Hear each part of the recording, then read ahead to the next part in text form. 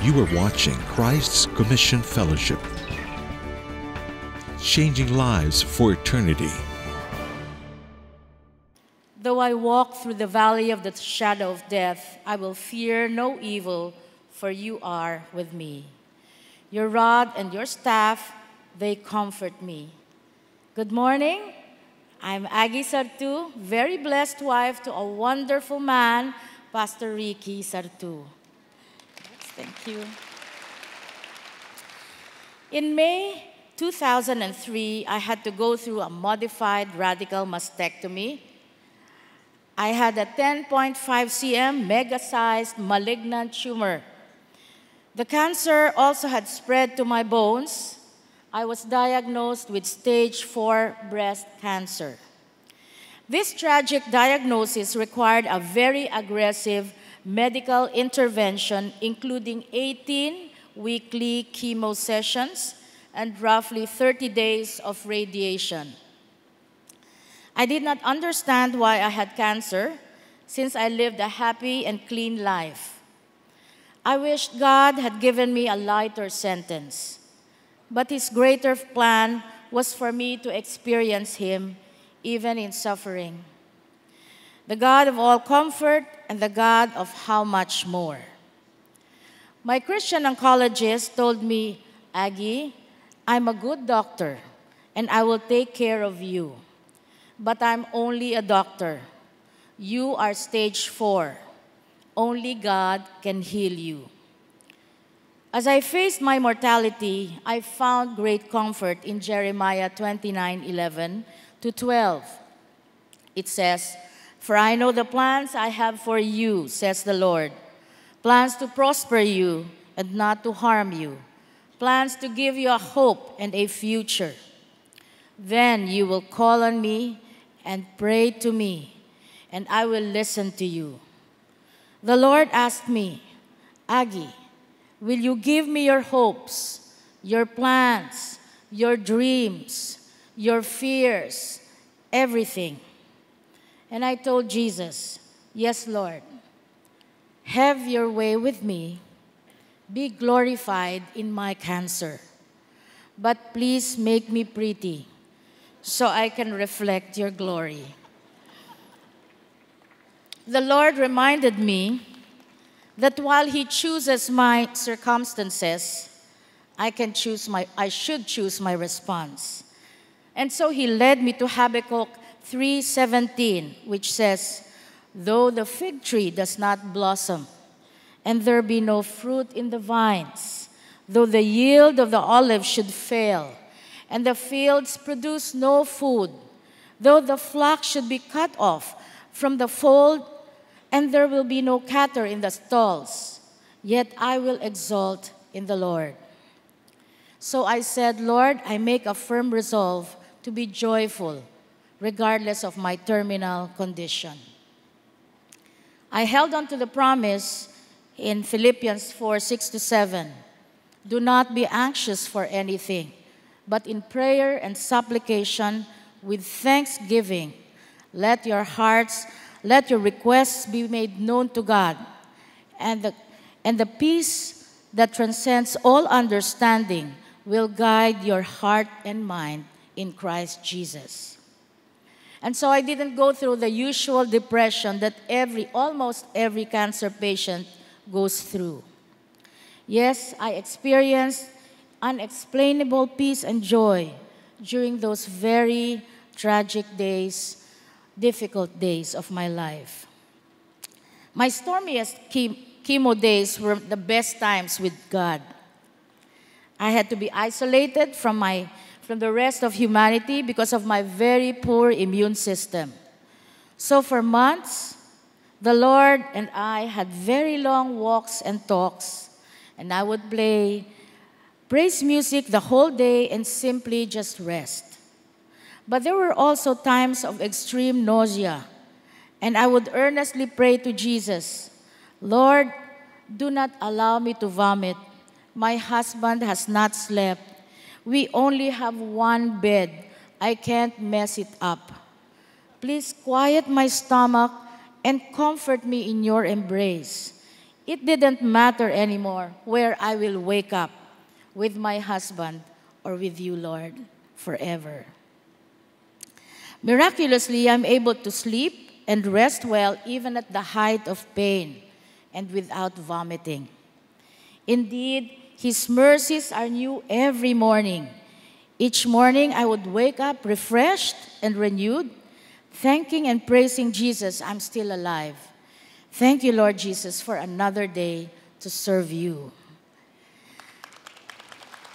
My weekly, my weekly trek to the hospital have been very physically difficult and also emotionally challenging. Many times I would hear fellow patients dying. So I found myself kneeling and asking God, Lord, am I next? As I opened the Bible, Jesus gave me these very loving and assuring words of comfort in Psalm 91. And it says, Because he loves me, says the Lord, I will rescue him. I will protect him. For he acknowledges my name. And he will call on me, and I will answer him. I will be with him in trouble. I will deliver him and honor him. With long life, I will satisfy him and show him my salvation. It has been almost 16 years since I was diagnosed with stage 4 cancer. The Lord healed me, even reversed my bone lesions. But the best part about the cancer is that now I'm able I have a platform for sharing God's news of salvation and talk about his faithfulness in almost all training programs I handle. We now have a thriving ministry called Life to the Max. The mission of Life to the Max is to bring comfort and hope to those who are afflicted with cancer and other chronic degenerative diseases. Indeed, there is hope in the big C because the real big C is not cancer, it is Christ. Thank you, Lord Jesus, for allowing me to see beyond the temporal and stretching my faith to experience the eternal. All glory, honor, and praise to Jesus, our Lord and Savior. We are doing a series on the book of Acts kasi po yung truth ay napaka-importante. It really matters. Ano yung truth na yon? Ang design ng Diyos is for us to share the truth. Listen to this. As we have been talking about this for the past several Sundays, in, ano, several Sundays na po. Ano sabi ng Bible? Ano challenge sa atin? We are not just to make a difference. We are to change the world. Kaya yun po ang ating pong pinag-uusapan dito. So sa Book of Acts, nakita ho natin na ito po ay ang hamon ng Panginoon sa Kristo that we are to make disciples or we are to be witnesses in Jerusalem, in Judea and Samaria, and to the, to the uttermost part of the earth. Kaya ito ang sabi sa Acts 1.8, But you will receive power when the Holy Spirit has come upon you, and you shall be my witnesses, both in Jerusalem, in all Judea and Samaria, and even to the remotest part of the earth. No, kaya mapapansin niyo dito sa outline natin, from chapters 1 to 8, nakita ho na natin doon. Yun po, they, God made a tremendous and powerful work in Jerusalem. Then eventually, they were to be spread. Kaya ho, next week, simula na tayo, papunta na tayo sa Judea and Samaria. Then, sa pagdating sa chapter 13, makikita nyo how the Lord uh, caused His work to spread throughout the other parts of the world. Throughout the world. Talagang amazing si God. Kaya ito po, kaya ho ang Acts, kung naalala ninyo, ito po, the continuing work of Jesus through the Holy Spirit in the lives of the apostles and His people, us, the church. Okay ba yan? So dapat, buhay pa yan sa atin, hindi nawawala yan sa atin. Kaya ito po ang ating pag-usapan. Bakit po importante that we are to spread this good news? Bakit importante? As we have said, we are to change the world. Tama? Tingnan niyo po ang pangako ni Jesus. Sabi ni Jesus, the thief comes only to steal and kill and destroy. Tingnan niyo word niya, I came that they may have life and have it abundantly. Sa mga nakakilala kay Jesus, ang buhay nila nag-uumapaw. Sabi niya, because the promise of Jesus is for their lives to be abundant. Kaya ho, nag-uumapaw yan, nag-uumapaw. Full, full of life. Kaya ang problema ho, to some of us, akala natin Christian tayo. Kasi yung Feeling natin, kasi nag naman tayo eh. Pero malalaman nyo, simple lang. Nag-uumapaw ba yung buhay mo ng ka, yung kabuluhan sa buhay? Kasi yung abundant dito, meaningful life eh. Full of meaning. O nag-uumapaw ng sama ng loob? Ah, yun ang pagtag-usapan na. Nakuha ninyo? Kaya ho, ang ating topic is live life to the full, be spirit-filled. Now, bakit po ito importante? Bakit, anong relasyon yan sa ating passage? Sabi ni J.K. Chesterton, every man who visits a prostitute is looking for God. Ha? Totoo ba yan? Now, wag niyong isipin niya, baka kailangan niyo, ah, punta na tayo ngayon, maghanap tayo ng prostitute. Kasi hindi ho, ang ibig sabihin niya ganito. The reason why people are going and looking for prostitutes, because they're looking for satisfaction that only God can provide. Kaya yun ang senyales that they're empty.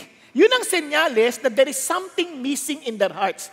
Kaya yung mga nagda-drugs, naghahanap ng something that will make them high, there is something missing in their hearts.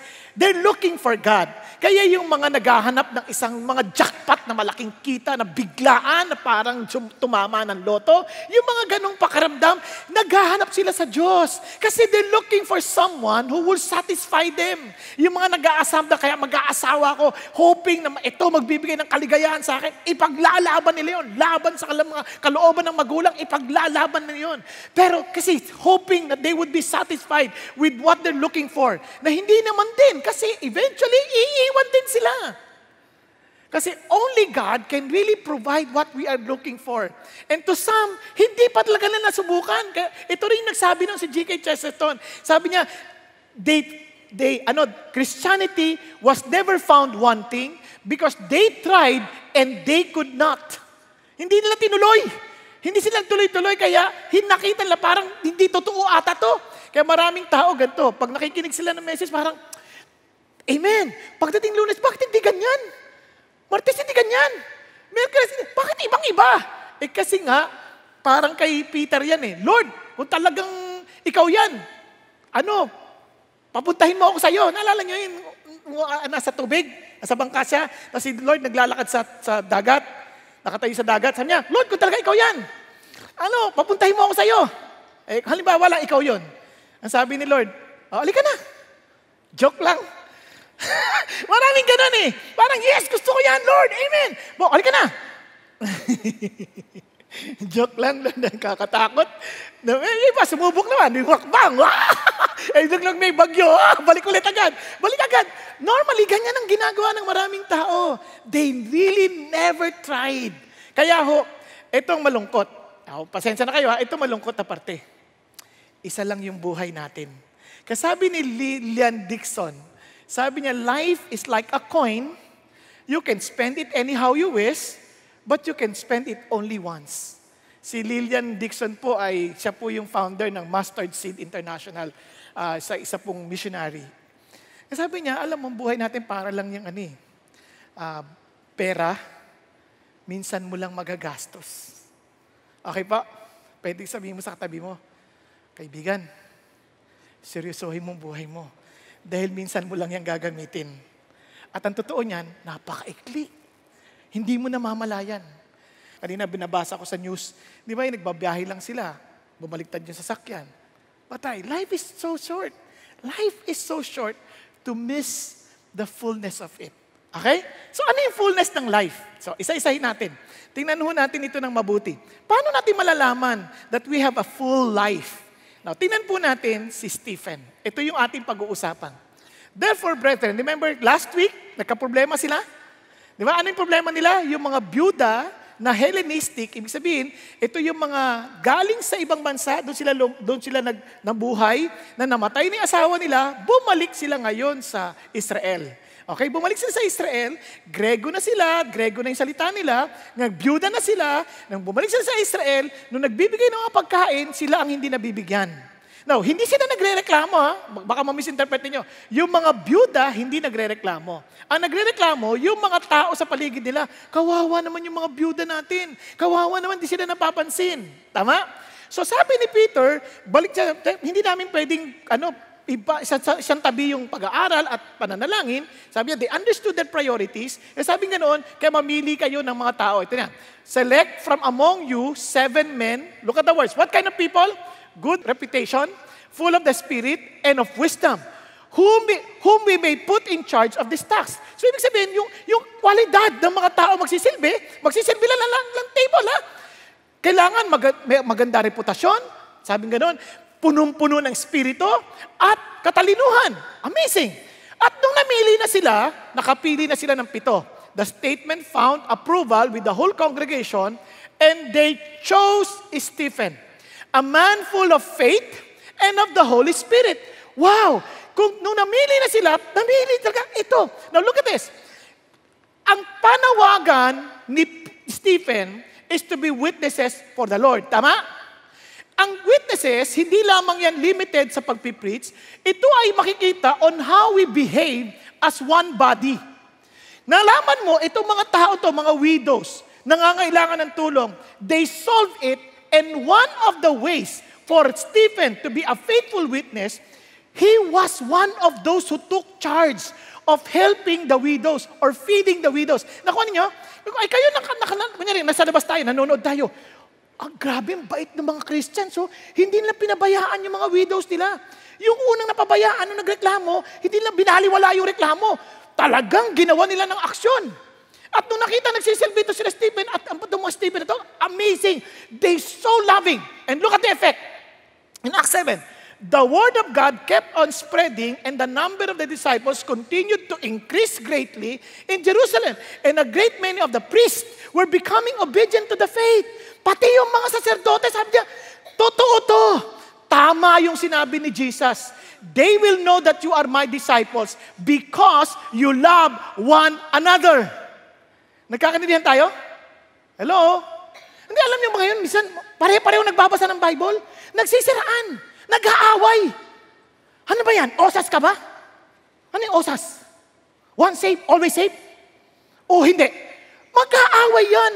Eh, ano ba kayo? Bakit yung pinag-aawayan yan? Ano ba maligtas? Si Jesus Christ. Period. Whether forever yan o hindi, pagtatalunan pa ba natin yan? Nakuha ninyo. Hello? Minsan, nakita, ay, nakita ko yun, taga-CCF yan. Nag, nag-aaser yan. Tapos habang naglalakad, ang kapal ng mukha niyan. Mandaraya yan. Nung nag-aaser yan, pero nang daraya yan. Nung meron kaming ano, dinaya kami. Bakit mo gaganyanin? Kung talagang kapatid mo yan, huwag mong ganyanin. Ganito, lapitan mo siya. Kapatid, nakita kita. Dinaya mo ako noon. Alam mo, ano ba yon? Nung hindi ka pa ba Christian noon? O Christian ka na?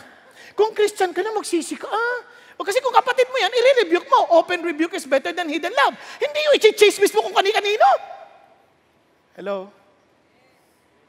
Alam niyo, minsan nakakalungkot, no? Minsan, tayo-tayo na, sabi natin magkakapatid, nag ano pa tayo, nagsisiraan tayo sa isa't isa.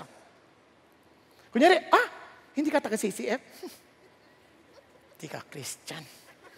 Ah, ano ba yun? Hindi naman exclusive yun sa CCF lang eh. Di ba? Ikaw, ibig sabihin, alam nila sa pagmamahal pa lang. Hindi niyo ba napansin, pag napunta kayo sa ibang bansa, nakita kayo ng Christian, parang nakakagaanan kay kagad ang loob. Hindi niyo napansin, no? Parang, Christian ka, no? Sa totoo lang, minsan naglalakad kami sa airport ng Vancouver, ha? Naghahanap kami ng makakain ng misis ko. Naglalakad kami ganun, ang mahalat, ang mahalat. Kaya di, ganun lang kami, titingin-tingin lang, umupo sa may table, Mami, may mama nakatitig sa akin ganyan, no? Sabi ko, kinabahan ako, layo na tayo kasi tinititigan niya ako eh. Sabi niya, di layo ako eh. Mas sumunod pa, sumunod yung mama. Sabi niya, Pastor Bong, ay naku, Opo, sabi niya, nanonood ako sa inyo. Ah, ganun po ba? Naku, salamat naman po. Naku, sandali lang. Diyan lang ho kayo. Diyan lang ho kayo. Huwag ho kayo aalis. Ganun. Hindi naman kami umalis. Di nandun lang kami. Talaga naman doon lang naman kami. Aba, mami ko, nag-order ng pagkain. Sabi ko, hindi ka lang kapatid, anghel ka. Alam ng Lord ang pangangailangan namin, pero ito ka nagpakain. Pinakain kami. Tapos kwentuhan na kami, para kaming magkapatid na matagal ng, alam niyo yun, magkakilala. Parang wow. Bakit? Because we know we are with one spirit in the Lord. Naintindihan po? Kaya doon pa lang alam mo, wow, kaya tinan mo yung mga tao to, di, yan parang witnesses na yan. Yung witnessing na yan, kasi bakit? Dito na nakikita na ng mga tao, Christian kayo. Pag nakita yung pamilya nyo, Christian kayong pamilya, no? Iba kayo magmahalan eh. Iba kayo magmalasakit sa isa't isa.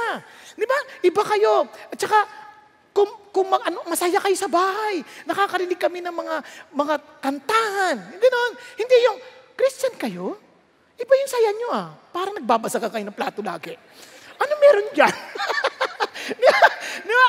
Ang hirap naman ng ganun. So, you have to see it. Iba kayo. Kaya nga nung isang, isang mama, galit na galit, sa, ano, takot na takot siya sa Christian, no? Kasi he became atheist dahil sa inis niya sa buhay.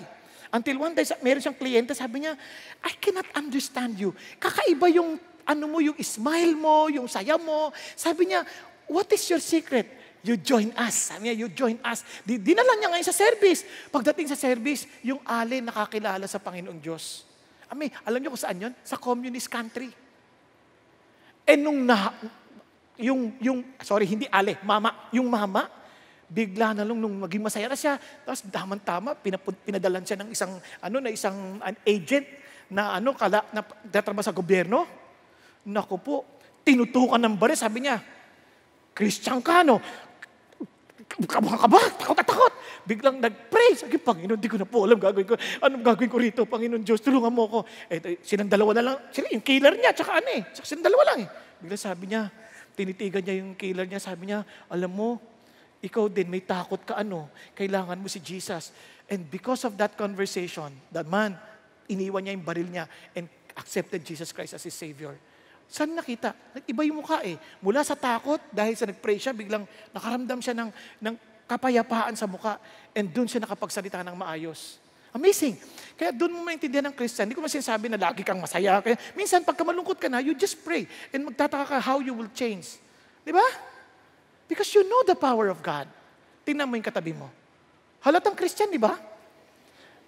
Naalala niyo si, naalala niyo si Martin Luther. Nung umuwi, tapos nakaitim si Katie, yung kanyang asawa. Sabi niya, ba't ka nakaitim? Patay ang Diyos. Anong, ka, anong kalapastanganan sinasabi mo? That's blasphemous. Sabi niya, bakit mo sinasabing patay ang Diyos? Sabi niya, God is alive. No, no, no, God is dead.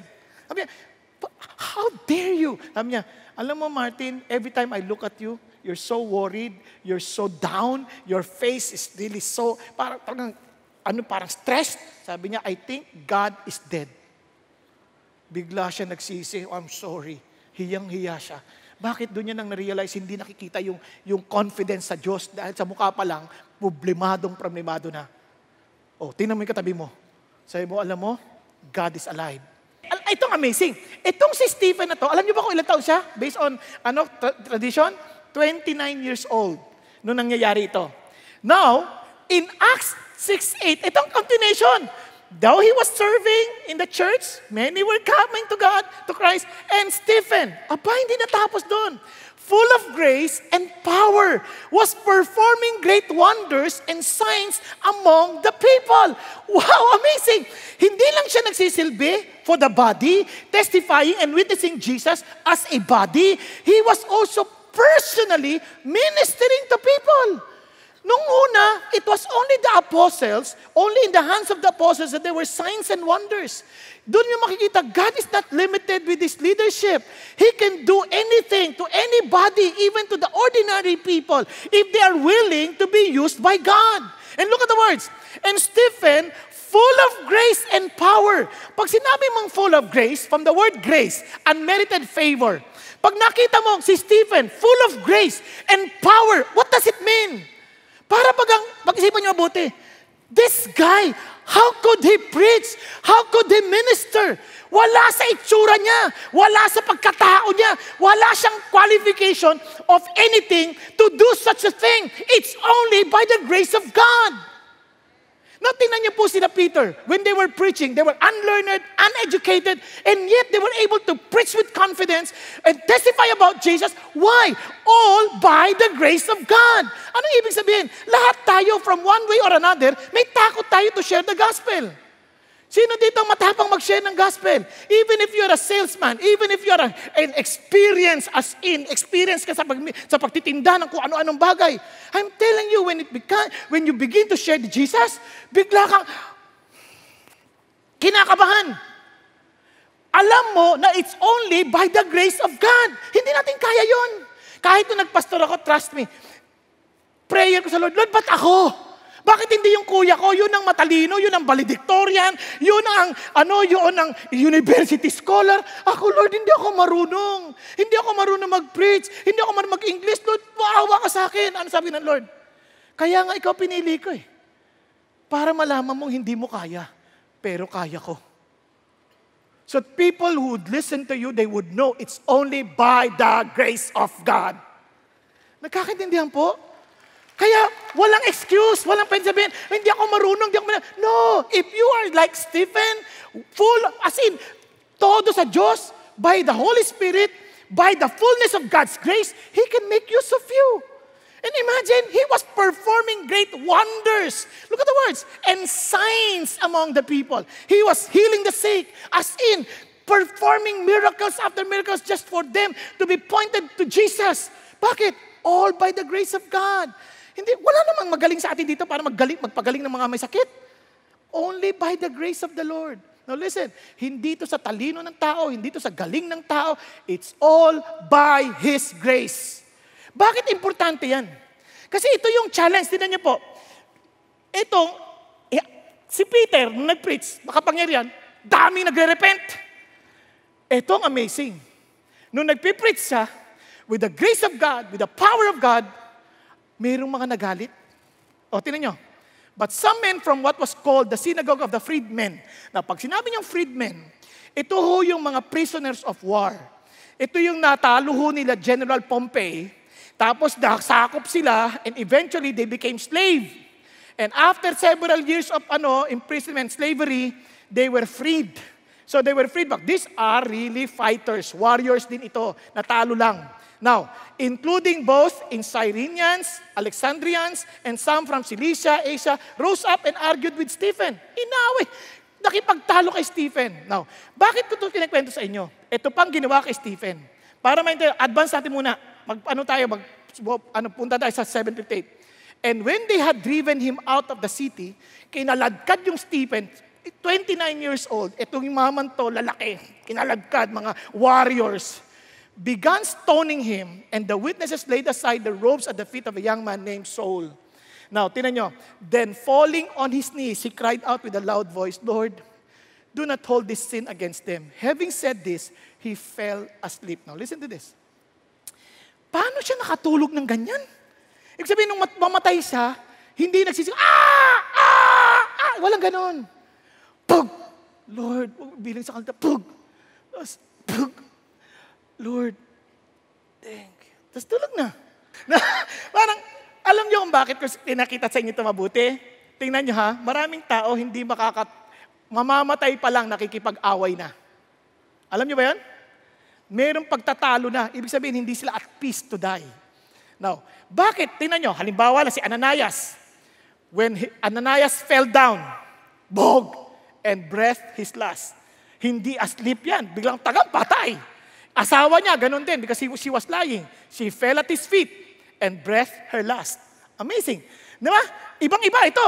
Bugbog, binabato na, tinulugan lang. Patay. Bakit? Kasi, ang nakita niya ito, Behold, I see the heavens opened up and the Son of Man standing at the right hand of God. Now, para maintindihan niyo to, si Jesus, every time he was being described in other passages, he was sat, sitting, sat down at the right hand of God, sa ano he will be seated at the right hand of God as and sabi niya right hand of God again seated at the right hand of God. Mapapansin niyo sat down at the right hand of God. Yan lahat ng yan ang ibig sabihin niyan hindi yung pangalawang uh, second in command. Hindi ganoon kasi sa atin agad-agad pag nasa kanan right hand of God second in command. Hindi ganoon ang ibig sabihin niyan parang yung general went to a warfare bumalik panalo na. And sabi nung ano pinakahiking Upo ka sa kanan because I am so pleased with what you have accomplished. Okay ba yan? Meaning to say, upo ka na because everything is finished. Remember the last word of Jesus Christ? It is finished. Sabi ko everything is paid. Everything is okay. Now, eh paano to si Stephen? Tapos na, di ba? Eh bakit siya tumayo? Kasi nung namatay si Stephen, nung binabato na si Stephen, sabi niya, Lord, receive my spirit, tumayo si Jesus. Alam niyo bang ibig sabihin nun? he was showing great respect and honor for the man. Parang sasabi niya, parang alam niya yung standing ovation. Wow, Stephen, you're good. Ano yung sasabi ng Lord? Pag-receive niya kay Stephen, well, full welcome, saying, Stephen, I am, you are, you are mine. Alam niyo, doon mo malalaman that you are really living it to the full. Yung bang, pag namatay ka ba, you would be, are, are you really confident na masasabi mong si Jesus would stand up and say, ano pangalan mo, iho? George. George. Naman, nakaupo si Jesus. Oh, George! Oh! George! All the angels of heaven! Let's welcome George! No, ganon. Oh, pagdating doon, why are you here, George? Stay away from me, George. I never knew. Uh, we've never, we never had a relationship, George. Get out of my face, George. Sa palagay mo, anong klaseng welcome? Kaya ho ito yung challenge ng Lord, live to the full. So how would you know that you're living to the fullest? Are you a witness in and out of your place? Are you a witness sa church o sa labas? Wherever you are, you are a witness of Jesus. Bakit? You know you are living to the full if you are focused to your calling, the very calling that God has for you. Kasi kung nabubuhay ka just for you to survive on this world and to have your own personal kingdom established, what's the point? Yun yung sinasabi ni Ate Agi. Sabi niya, nung gumaling ako, at least nagkaroon ako ng avenue. Nagkaroon ako ng avenue na ma-share si Jesus Christ. Sa totoo lang, when I was dying, I wasn't afraid. You know why? I may sleep, or I may wake up with my husband or with Jesus forever. Di ba? Ang sarap ng ganong confidence na no matter what happens, alam mo, you will be with God. Kasi pakisabi sa katabi mo, live to the full. Be filled with the Spirit. Yun ang ating challenge. Live to the full. Be filled with the Spirit. Bakit? Because that's our calling. If we are faithful as witnesses of Jesus Christ, as in full with the power of God, whether at home, whether in the office, whether in the church, wherever we are, they could see Jesus in us. And you are faithful at the end, nakakapagod. Minsan, oh, Lord, pagod ako. Parang they took advantage of me. Yung mga office mate ko, hindi nila nagtatrabaho. Ako lahat gumagawa. And I'm just doing it for you, Lord. But they're so unfair. And sabi ng Lord, no problem. Pagdating mo sa langit, yes, the great worker of mine in the office of this so-and-so. Nakuha ninyo? Hindi naman parang, sila tamad? Ako din, bahala kayo. Di ba? Hindi na eh. Ikaw na, parang nagpasa, nagpasunod ka sa kanila. Wag! Kunyari, asawa mo, Lord, yung asawa ko hindi umuwi ng maayos, lasing lagi. But I was there, Lord, serving with full submission because I'm doing this for you, Lord. I didn't even know whether he, naging Christian siya o hindi. Ang isang bagay lang sa amin, Lord, but you live to the full. Come. Come. Di ba? Nakakaintindihan? Minsan yung mga magulang natin, ang gugulang din eh. But you just keep on worship, eh, no, respecting the parents. Lord, I'm doing this so that they would be saved somehow. Kung hindi naligtas, but one thing I know, my Jesus is pleased because I live to the fullest as His witness. Nakuha niyo po? Kaya ito po, paano? Ito, tingnan niyo ha. Balik tayo. So in the spirit with which was speaking, he was full of the Holy Spirit.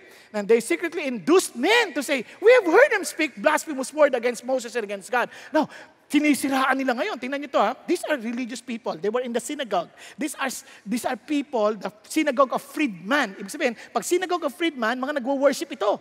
Ibig sabihin, talagang religious ito. Tama? But since they could not ano parang debate with ano Stephen, parang hindi lang mas ma, ano talaga mapigilan si Stephen, ginawa nila nag ano sila parang parang ano parang tag doon naglalagay sila sa mga tao para siraan natin magtayo kayong false witness ganyan. Di ba? Induce eh. Yung word na induce talagang tinulungan na talagang siguro sinuhulan ganyan. Basta ito na. Eh simple lang. If you are truly religious bakit you're doing a religious thing? Tingnan niyo ha sabi nila, thou shall not bear false witness against your neighbor. Tama? Pero binabayaran mo, ini-induce mo pa sa kanya. Pahala sa'yo. Ito, oh. Kina. Di ba? Parang ang labo. Hindi sumusunod sa Diyos. So to make the long story short, ito na.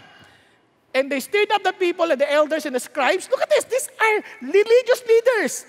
And they came up to him and dragged him away and brought him before the council. And they put forward false witnesses. Said, this man incessantly speak against this holy place and the law. And sabi niya, for we have heard him say, this Nazarene Jesus will destroy this place and alter the customs which Moses handed down to us. No, ano nangyayari dito? No, dito pa lang magkakaroon tayo ng hint kung anong pinipreach. Okay? Tingnan natin, from this passage, makikita na, ano kayo pinipreach ito? Naalala niyo, sabi ni Jesus, sabi ni Jesus, alam niyo, time will come, destroy this temple, sabi niya ganon, and I will raise it up in three days. So what Jesus was trying to say, This is now the temple. The temple you have is just a picture of me. Nakuha niyo? Nakuha natin. And in fact, 70, I one day, this temple will be destroyed. Hindi siya magdi-destroy.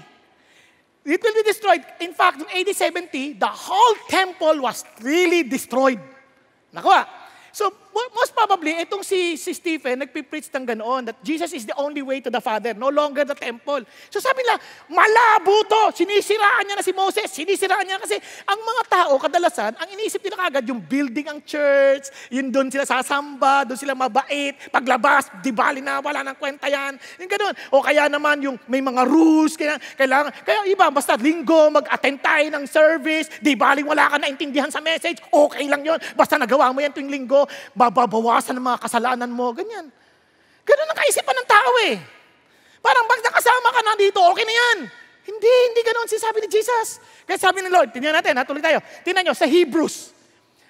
But when Christ appeared as a high priest of the good things to come, He entered to the greater and more perfect tabernacle. Remember the temple is based on the tabernacle. Ito yung mas magandang, magandang or grandeur design ng tabernacle not made with hands, that is to say, not of this creation, and not through the blood of goats and calves, but through his own blood. He entered the holy place once for all, having obtained eternal redemption. For if the blood of goats and bulls and the ashes of heifer sprinkling those who have been defiled sanctify for the cleansing for the flesh, how much more with the blood of Christ, who through the eternal Spirit offered himself without blemish to God, cleanse your conscience from the dead works to serve the living God. Ano sinasabi niya? Sabi niya, ito na yung sukli. O, ito na sinasabi ni Jesus. Sabi niya, hindi na yung temple before you feel accepted and forgiven by God once you offer blood sacrifices by the high priest. But this time, the high priest himself offered his own blood once and for all. Ano sinasabi niya? Wala ka ibang paraan maligtas only through Jesus Christ.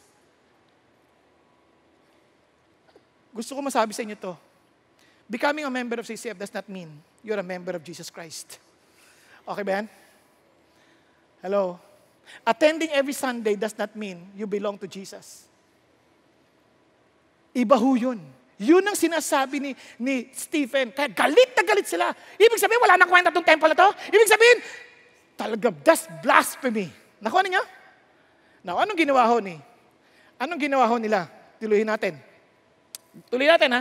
Sabi niya, For this reason, He is the mediator of the new covenant.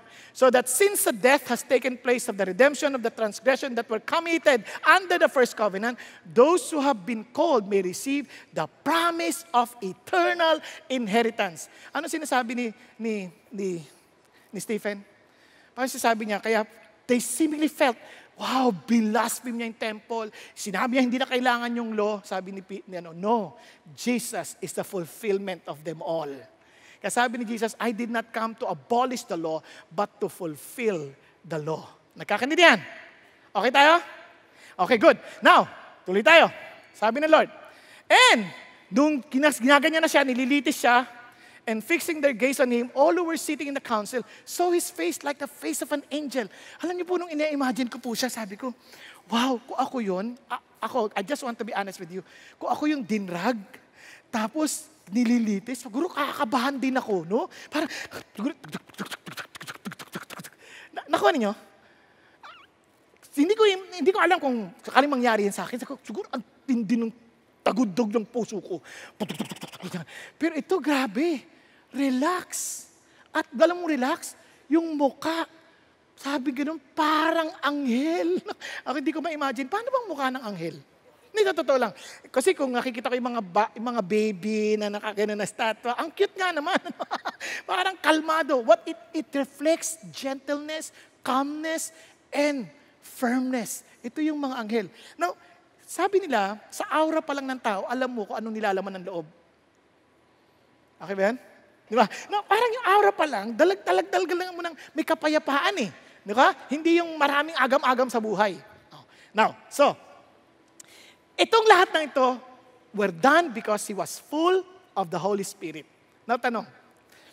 Madali lang sabihin, Lord, fill me with the Holy Spirit, that's good. But there is a fruit. You can easily know whether you really prayed right and you really believed right that you are filled with the Holy Spirit. Okay po? Gusto niyo masigurado so that you can live the fullness of life? Tatlong S lang po para sa ating aralin ngayon. Scripture, strength of character, and surrendered spirit. Once you know that you're full of the Holy Spirit, you have a different attitude towards the scripture, you have a strength of character, and surrendered spirit. Isa-isahin natin. Tingnan niyo po si, si, ano, si Stephen. But some men from what was called the synagogue of the freedmen, including the Cyrenian, Alexandrian, and some from Lycia and Asia, rose up and argued with Stephen. Now, doon nakikipag-argue na, look at Stephen. They could not answer him. Why? Sabi ni, John, ni Jesus, But the Helper, the Holy Spirit, whom the Father will send in my name, He will teach you all things and bring to your remembrance all that I said to you. This is just an ordinary guy. He was not an apostle. He was just a server of the table. And yet, ito siya. He knew how to operate in the fullness of the Holy Spirit because he has such, such a great love for the Word of God. Kasi, tinan mo, He will bring you into remembrance. Hindi mo maaalala isang bagay na hindi mo binabasa. Hindi mo maaalala isang bagay na hindi mo mine-memorize. Napansin niyo po ba yon? Kaya nga sa atin, we challenge people, you memorize, you memorize.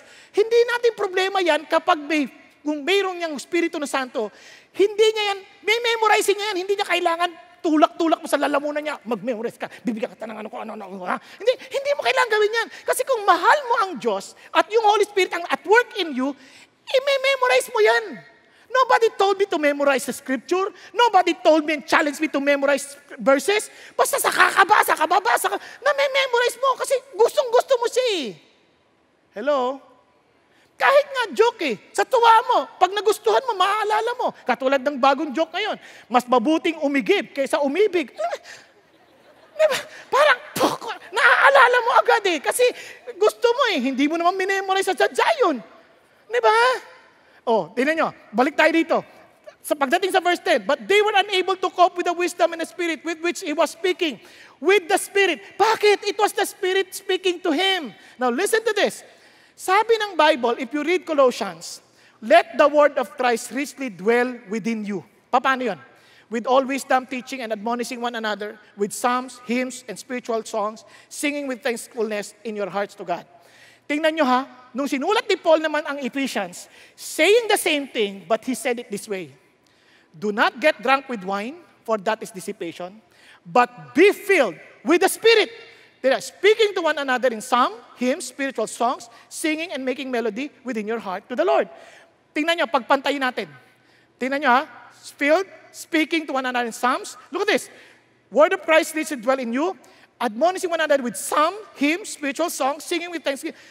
In other words, if you are filled with the Holy Spirit, what Paul is saying, you will surely allow the words of Jesus Christ to richly dwell within you. Okay po? Kasi ang unang gagawin ng Holy Spirit sa'yo, gugustuhin mo yung Bible, gugustuhin mo yung salita niya eh. Bigla mong hinaasam-asam. Bakit? Because the Bible, the Word of God, is Jesus Himself. In the beginning was the Word, and the Word was with God, and the Word was God. Remember? And the Word became flesh and dwelt among us. So, the desire, the, kaya mo ginabasa yung Bible, because I, I began to be so in love with Jesus, and I want to know Him more. Now, tinan niyo po ito. Sabi ng Hebrews, and the Holy Spirit also testifies to us. For after saying, This is the covenant that I will make with them. After those days, says the Lord, I will put my laws upon their heart and on their mind, I will write them. Amazing. Yung Holy Spirit pa nga mag- maglalagay sa utak mo. Pa- Paano niya gagawin yun? He will steer your heart to desire and to really hung, to be hungry and hunger for the Word. Alam niyo, nung una ako nagbasa ng Bible, trying my best with my own wisdom and ano, ano parang uh, intellect na kakayanan, no? Yung parang capacity ko. Pinasa ko. Alam niyo ba, sabi, basahin mo to, makikilala mo ang Diyos. Pinasa ko naman. Abraham begat Isaac. Isaac begat Jacob. Jacob begat Judah. Ang bigat! Wala talaga ako maintindihan. I did not like it. Sabi ko, kalokohan yung Bible na yan. Ano bang pinagsasabi nila? One day, nung sobrang hirap na hirap na ako, parang suko na ako, gusto ko na magpakamatay. Sabi ko, Panginoon Diyos, kung totoo ka, kausapin mo ako. Sabi nila, itong Bible na to, salita mo, kausapin mo ako. I didn't know a thing, kaya nga nung binasa ko, tinapon ko eh. Pero nung binuksan ko, hindi ako marunong magbasa, bubuksan ko lang to ha. Pak! Therefore, if anyone is in Christ, he is a new creation. The old has passed away, behold, the new has come. Hindi ko siya makalimutan. Because that was the very verse that struck me. Sabi ko, God, kung totoo ka, I want to be, wa- to be new. I want to be one with you. Kung totoo to, subukan mo nga, subok nga. Alam niyo, for some reason, buti na lang nga, hindi nga nabasa ko doon na, at si Judas, nagbigte. Buti na lang ganon, di ba? Buti hindi ganon. Buti na lang naawa ang Diyos, yun ang nabasa ko. Then I I began to ask, and sabi niya, be systematic. Biglang binasa ko, I never, I did not even eat anything. Basta basa ako. I was reading Romans. I, tapos until one day, biglang yung mga, barka, mga dati kong barkada, pare, ba't di ka na sumasama sa amin? Hindi ka na sumasama sa amin magkuha ng, mag, mag-shoplift, ganyan. Ba't di ka na sumasama sa inuman? Ano ka? Yabang mo na. Tinulak kang ganyan. Lalaban ka ba? Alam nyo, ang bili ng tatay ko, pag ganyang mga hamunan, sapakin mo na kagad, sabay takbo. Para nakaisa ka na. At huwag ka na magpapakita ulit. Pero sabi, ganun lang talagang prinsipyo ng utak namin. Biglang hinam, ano, lalaban ka? Sabi ganun, ang paghihiganti ay hindi sa akin, ito'y sa Diyos. Sabi na, nasusulat. Ha? Padre Damas, ano nangyari sa'yo? Nagulat sila kasi bakit ako nagko-quote ng Bible verse? Hindi ko alam yun. Basta bigla na lang. Kasi out of the abundance of the heart, the mouth speaks. Nagkakanindihan? It is the Holy Spirit that will write that in your heart. Kaya pag wala kang uhaw sa salita ng Diyos, and I believe that most of you, when you came to know Jesus, you were so hungry for the Word. But you just allowed yourself to be defiled and not walk with the Holy Spirit. That's why you began to lose appetite of the Word of God. Kaya I challenge you, get back to the Word. You ask God, Lord, tulungan niyo, bigyan ako ng uhaw. Ba't hindi ako nauhaw? Baka hindi ako Christian. Baka nga, dihingin mo si Jesus sa buhay mo. Nakakaintindihan? Kaya marami sa atin, uhaw tayo sa maraming bagay, pero hindi salta ng Diyos. There's something wrong. Kaya sabi ng Bible, tinan nyo, when the helper comes, whom will send to you from the Father, that is the Spirit of truth, who proceeds from the Father. He will testify about me. How? Through the Word. And sabi niya, alam niyo tama ang basa niyo ng Bible? Bakit? Because sabi niya, He will speak and He will disclose to you what is to come. He will glorify me. For He will take of mine and will disclose it to you. Al- pag binasa mo, hindi mag-glorify ang sarili mo. Ang nag-glorify si Jesus. Hello? Doon mo lalo nakikita, Lord, thank you, niligtas mo ako. Katulad na pagbasa mo ng Old Testament, pagbasa mo ng the commandments of the Lord, bigla mo na-realize, oo nga, tama si Paul. This serves as a tutor to me that I would, that I need Jesus. Lord, thank you. Hindi yung, gagawin ko to lahat. I will fulfill this. Ah, para maligtas ako. Hindi mo kaya. Hindi mo nga ma-memorize yung Ten Commandments eh. At sabi ng Lord, if you fail on one, trying to, to follow everything, you have already failed in everything. So, paano na? Kaya pag doon mo kita, then I need Jesus. Now I understand why I need Jesus. Now I understand. Kasi it glorifies the Lord. Nagkakaintindihan? That is exactly what's happening. Kaya tinan nyo, pagdating sa Acts, amazing si ano, the high priest said, are these things so? Totoo ba to? That you're blaspheming. You're speaking against the temple and Moses. Ano sabi niya? Totoo ba to? Tama? Ano sagot? Sabi niya, he said, Hear me, brethren and fathers, the God of glory appeared to our father Abraham when he was in Mesopotamia before he lived in Haran. Ano siya? In Haran. Ano siya sabi niya? He began to speak, detailing from Abraham, Joseph, Moses, David, and Solomon. Alam na alam niya yung Bible niya. Alam na alam niya. Si Abraham, naalala ninyo? Sabi niya, the Lord called him, leave your country and your relatives and come into the land that I will show you. You know what that's Abraham have? Tino sabi niya, si Abraham, when he came to the Lord, it was the Lord who went to Abraham. It was the Lord who revealed His glory to Abraham. There was no temple yet at that time. Yun ang sinasabi niya eh.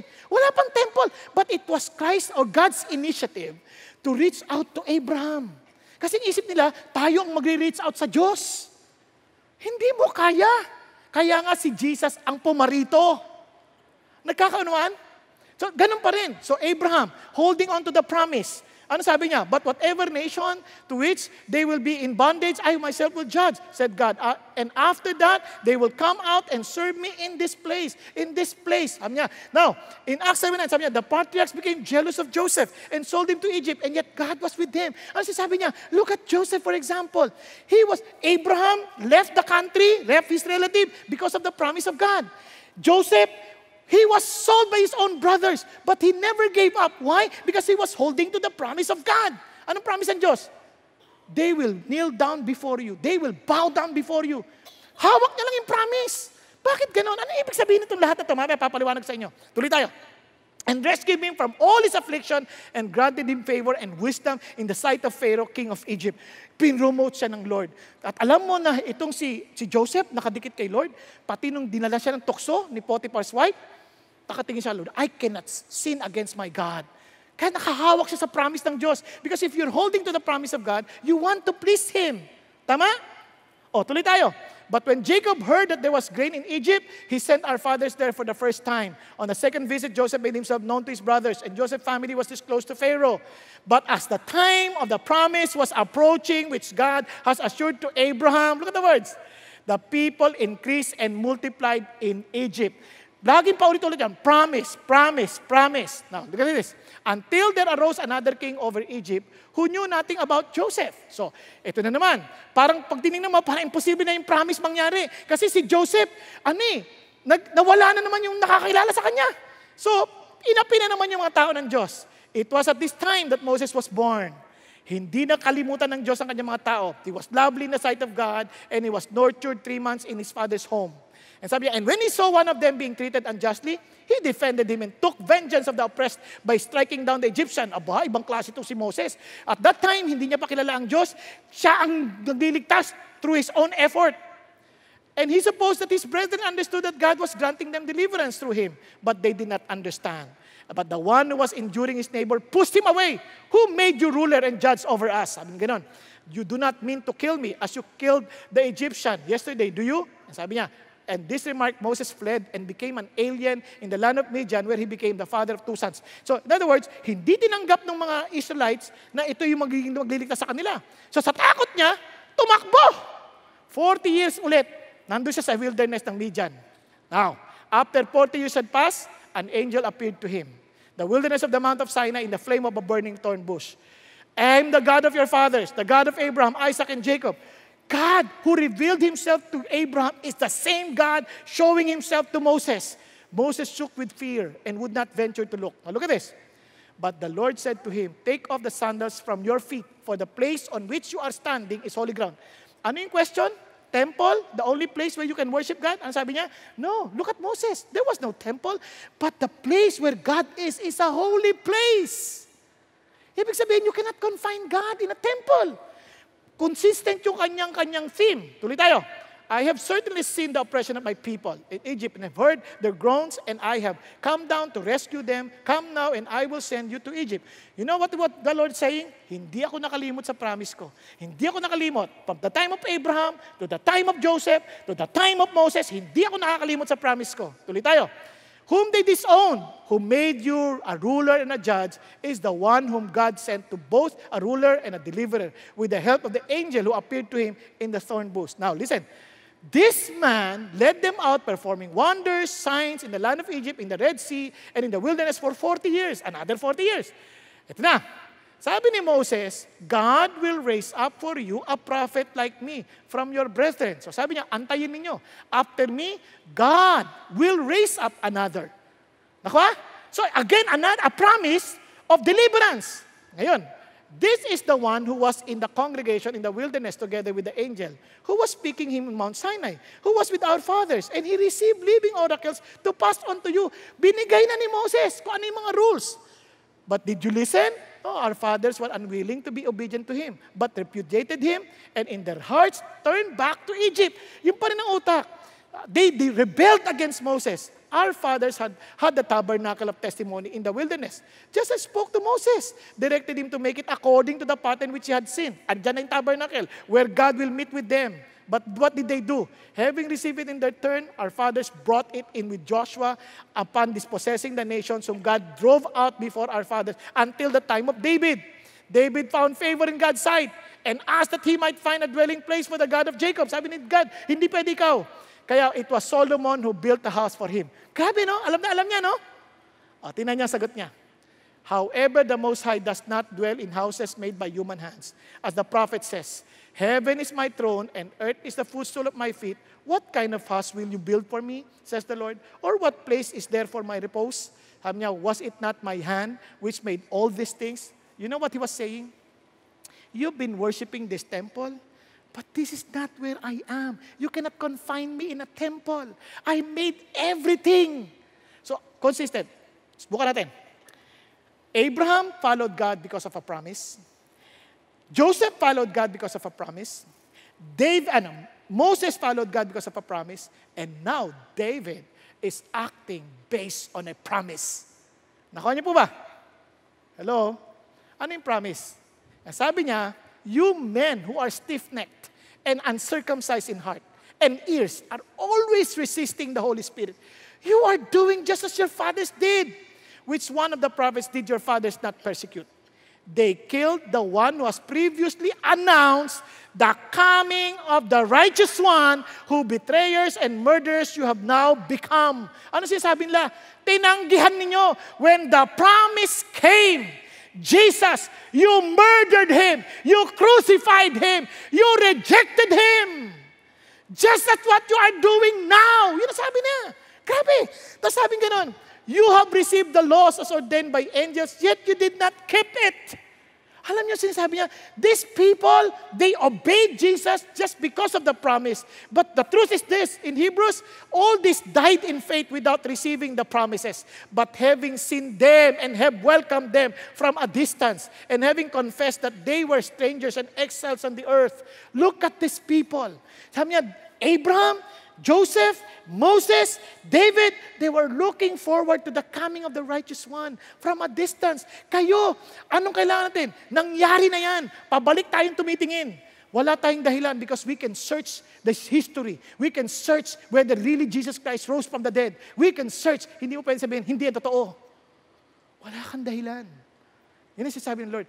That alam mo ng Holy Spirit at work because you're beginning to see the faithfulness of God in His promises. Kaya naman, alam mo rin na hindi because you are rebelling against those promises. You are not following the words of Christ. Hello? Pakasabi sa tabi mo, are you hungry for the Word of God?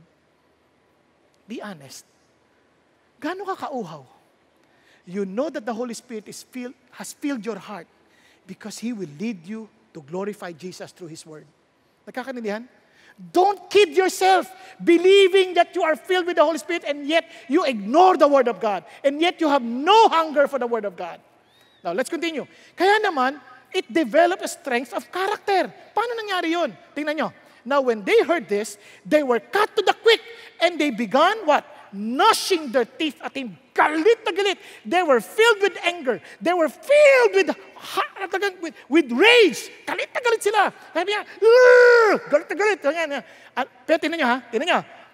But, ah, di ba? Naranasan nyo na yung parang maraming tao sinisiraan kayo dahil Christian kayo. O kaya, hindi kasi lahat ng tao natutuwa sa atin kahit Christian tayo, di ba? Kahit mabait, tayong, mabait ang gina, mabuting ginagawa natin, hindi ibig sabihin, ano, matutuwa sila sa atin. May mga pagkakataon na iinis sila sa atin. Tama? Yung boss natin, inutusan kang gumawa ng bagay na hindi maganda. Tapos sabi mo, pasensya na po kayo, hindi ko po magagawa yan, hindi po yan ayon sa kalooban ng Diyos. Anong kalooban ng Diyos? Ang kalooban ko na susunod. Naku, patawarin niyo na po ako. Kung mag-resign ka! Di ba? Minsan nagagalit sila. Kahit ang bait-bait mo. Tama? Sa asawa, di ba minsan, kahit ang bait-bait mo na, hindi ka na, um- hindi ka, umi, hindi ka na umiinom, hindi ka na nagbabarkada. Tapos ma, malate ka lang ng konti, yung babae, ano, saan ka naman kaya? Samantalang noon, ginugulpi mo lang siya, pok, gano'n na siya. Walang karekla-reklamo. Ngayon bumait ka, biglang ang ingay na, ano, biglang gumano sila, ano nangyari?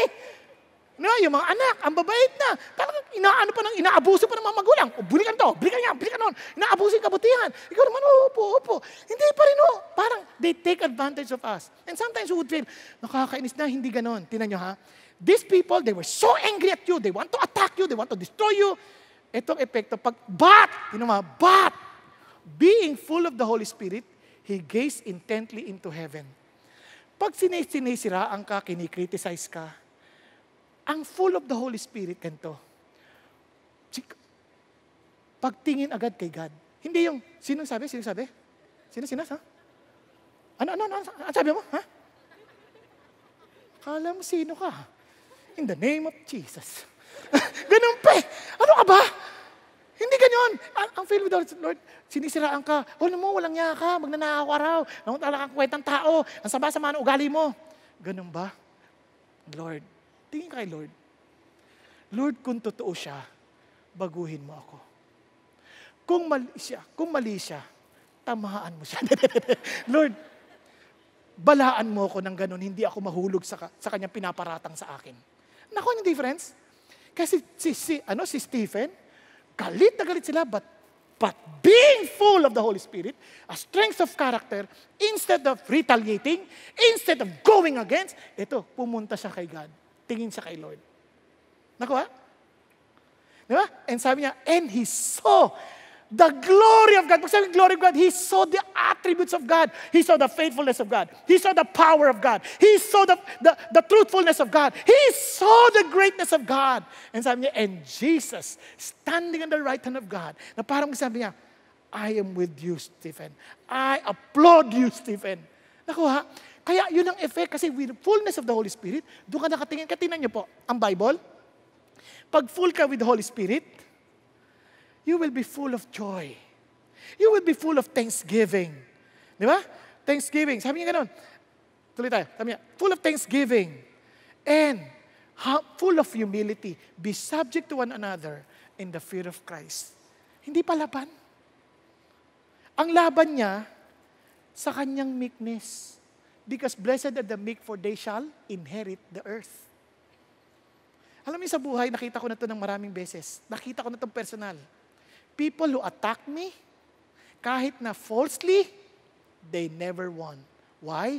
Because God, the fullness of the Holy Spirit, will make you the person that He wants you to be. Not with the person that they thought you to be. Okay ba yan? Isipan nila lahat. Dayain ka na ng lahat. Huwag kang gaganti. Tingin ka kay God. At tayaan mo ang Diyos. Di ba? Kasi si God ang reward mo, hindi naman sila eh. Hindi yung sasabihin nila, I don't care if they destroy your reputation. Wala naman tayong reputation pag-iingatan eh. Ang meron tayo, meron tayong Diyos na pupurihin. Amen? Nakakanihan? That builds a strength of character. That's the effect of the Holy Spirit. And finally, surrendered spirit. Tingnan niyo po, And but they cried out with a loud voice and covered their ears and rushed at him with one impulse. Sabi niya, when they had driven him out of the city, and began stoning him. And the witnesses laid aside their robes at the feet of a young man named Saul. And they went on stoning Stephen as he called the Lord and said, Lord Jesus, you know that Jesus is God. Why? Lord Jesus. Sabi niya, receive my spirit. Kung tao yan, how can you pray that? Di ba? Receive my spirit. Then falling on his knees, He cried out with a loud voice, itong amazing, Lord, do not hold this sin against them. Having said this, he fell asleep. Sa marami sa atin, whenever we are being attacked, we are being taken advantage of. Anong gamit? Lord, paghiganti mo ako. Panginoon, mawalan sila ng mga magulang. Panginoon, sana mamatay sila kagad. At kung mamamatay sila, hindi madaling kamatayan. Yung tipong unti-unti, kalahati muna, isang mata, isang tenga, isang bibig. Nakuha ninyo, pero ang alam mong full of the Holy Spirit, Lord, you are not seeing them as bodies. You are seeing them as souls with bodies, with eternal at stake. that they will face the real judge one day who will who is able to bring them to hell. And here, ikaw, Lord, please take not this. Lord, do not hold this sin against them. Lord, please. Ano siya sabi niya? Lord, iligtas niyo po sila. Kasi yung kanilang nakikita, pansamantala lang. Tagumpay nila ngayon. But God, since I'm seeing you now, there is still life after this. And Lord, maawa ka sa kanila. Iligtas mo pa rin sila.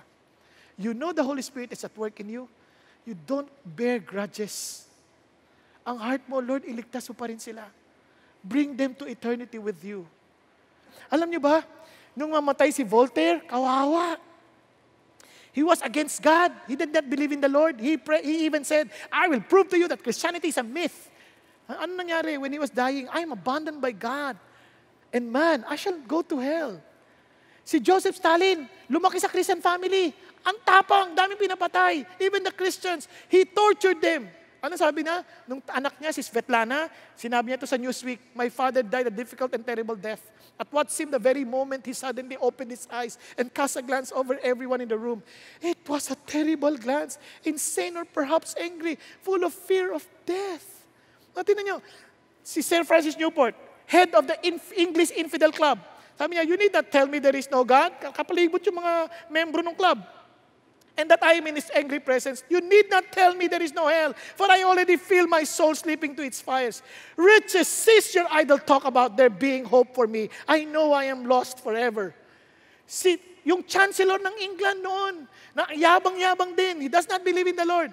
Sabi niya, Sir Thomas Scott, until this moment, I thought there was neither God nor hell. Now I know and feel that there are both, and I am doomed to perdition by the just judgment of the Almighty.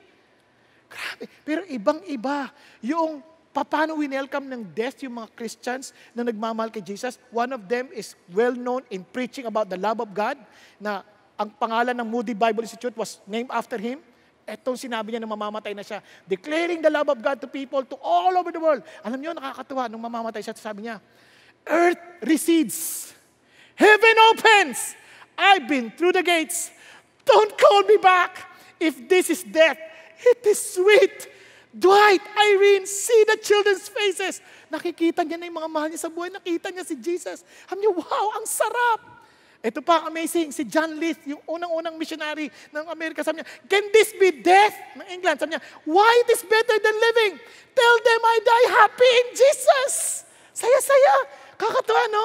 Kaya tala tama si John Knox, live in Christ and the flesh need not fear death. And alam nyo, Stephen did not die. He was with Jesus. And in fact, his testimony remained. Because, alam nyo ba nangyari? Ang bata kasi sabi, sayang buhay niya, no? Nakakapag-preach, nakakapag-perform ng miracles, 29 years old, patay na. Sayang naman. Hindi yun sayang because he lived to the fullest. At tinan niyo effect.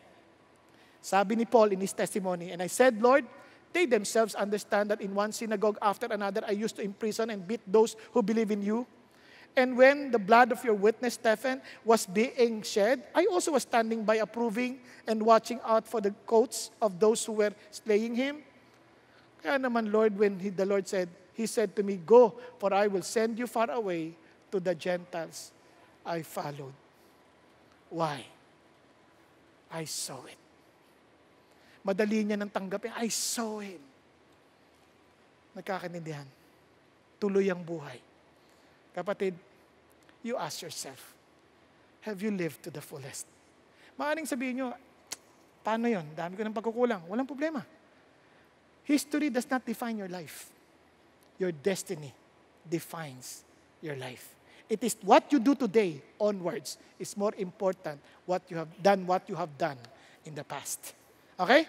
Shall we just close our eyes and open and bow down our heads? Mga kapatid, alam mo, kilala mo kung sino ka. Alam mo totoo mong katatayuan. Huwag mong biruin ang sarili mo. Claiming that you belong to Jesus and the Holy Spirit is in you. Simple lang, tanungin mo sarili mo, am I really hungry for the Word of God? Do I really want to honor Jesus? Do I, am I developing strength in my character that God is really changing me from glory to glory? Do I have a surrendered spirit? Na hindi ko pinaglalaban yung sarili ko, hindi ko pinaglalaban yung gusto ko, kundi pinaglalaban ko, Lord, yung gusto mo. I totally surrender my will to you, Jesus. Kapatid, if that is not yet true in your life, for sure, even if you decide to live to the fullest, you'll never make it because you need the power of God. You need the grace of God. You need the wisdom of God.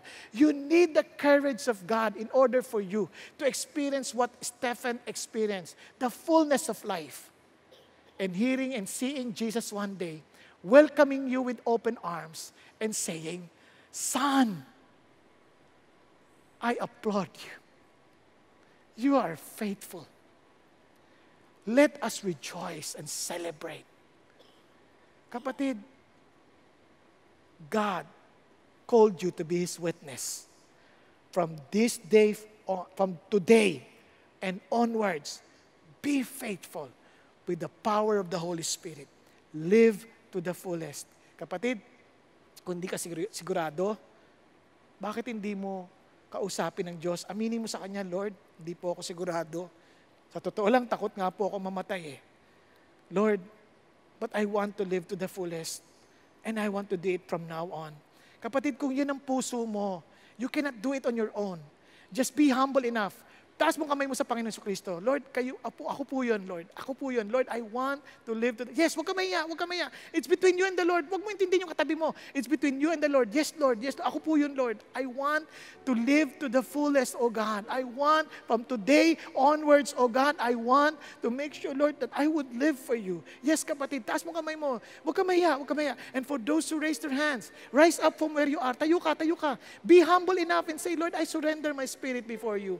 Yes, Jesus. Hallelujah. Yes, Jesus. Thank you, Lord. Hallelujah. And maybe to some of you, nahihiya ka, natatakot ka, o kaya you, pinaniwala mo na yung sarili mo that you belong to Jesus. Friends, I do not even look at you. It's between you and the Lord. Be humble and say to Jesus, Jesus, I know for a fact I do not even care for your word. Lord Jesus, I know for a fact that even my character, there's no such strength to always stand for you. I'm easily swayed. I'm afraid to be your witness. I could not speak for you. Lord, so I surrender my spirit to you now. Kapatid, live to the full. Be spirit-filled. So tell Jesus, Lord Jesus, forgive me. I live for my own kingdom. Now I surrender my life to you, for I know you alone died on the cross for my sin And thank you that you rose again from the dead to assure me that, that it is finished, that everything is fully paid. So, Lord Jesus, you promised the Holy Spirit to be given to us. So, Lord, as you have promised, I surrender my life to you and I receive the gift of the Holy Spirit, O God. And let the Holy Spirit work within me, Lord. Let the Holy Spirit, Father God, Draw me closer to you. Let the Holy Spirit, Father God, help me to desire you, to love your word, and to really develop the character of Jesus in me, that they may see you in me. Lord Jesus, let your Holy Spirit take over my spirit, that I would live only for you from this day onwards. Thank you, Jesus. I know I cannot do this on my own. So, Lord, I surrender. I give my all to you. Thank you, Jesus. Thank you, Lord. Father God, I thank you that you do heard the prayers of my brothers and sisters. And Lord, for those who are also, for everyone in this room, I just pray that we would never forget, oh God, that we are living as witnesses of you, Lord Jesus. That we are witnesses that you are alive, and we want to, the people know that you are the only hope that they have for eternity. You alone, Father, can save us, O God, from eternal damnation. You alone, Lord Jesus. So I pray, give us the confidence, the power from the Holy Spirit, O God, to proclaim your name, O God, to declare you, Lord Jesus, to the world. Not only with our words, but also with our lives. Thank you, Jesus. Lord, accomplish your will in our lives, O Lord. And may I pray, Father God, to really bless everyone in this room. And for those who have not decided yet, oh God, I pray to continually speak to them, continually minister to them, and continually allow them to see how empty our lives are without you. Thank you, God. In Jesus' name we pray. Amen, amen, and amen.